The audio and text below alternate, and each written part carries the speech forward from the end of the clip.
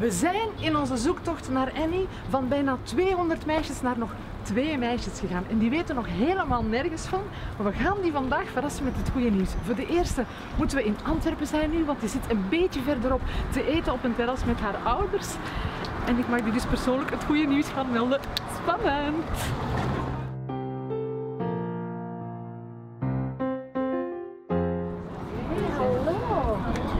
Goedemiddag!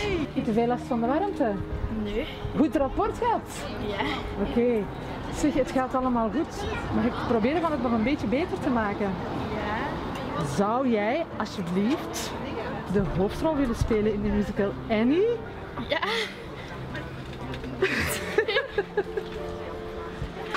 Proficiat! Ja. Zeg, maar je had al wel enige ervaring, hè? Ja. Vertel nog eens wat je allemaal gedaan hebt. Eh, ik heb al in Niemandsland meegespeeld en eh, in Scrooge heb ik ook meegespeeld. En in Best of Musicals heb ik ook ja, Annie gezongen. Ja. Maar dit is jouw eerste echte hoofdrol. Ja. Oké. En eh, ik ga eerlijk zijn, er zijn twee Annie's. Je moet niet heel de rit alleen uitzitten. Ben je benieuwd wie de tweede Annie wordt? Ja. Heb je een idee? Niet. Nee? We gaan haar nu verrassen. Jij bent de eerste die het nieuws heeft. We gaan nu op naar de tweede en daarvoor moeten we naar Halle. Op naar Halle.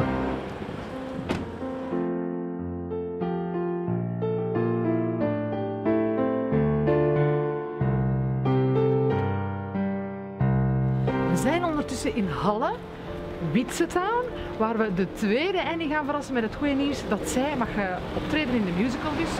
Ze gaat momenteel zangles volgen, dat is hier meteen om de hoek, dus wij zijn undercover.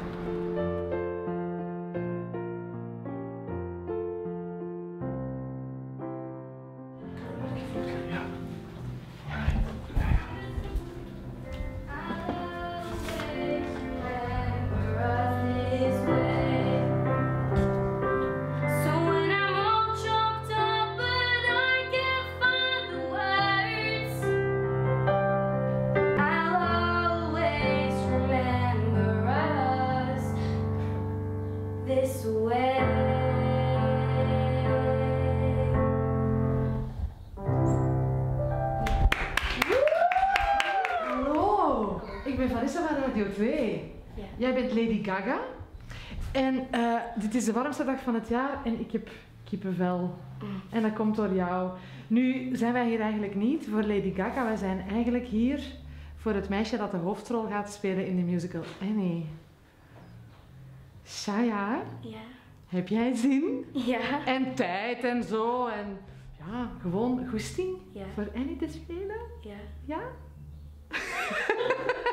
dan, dan, zo'n nieuws moet je dus geven om haar stil te krijgen, denk ik.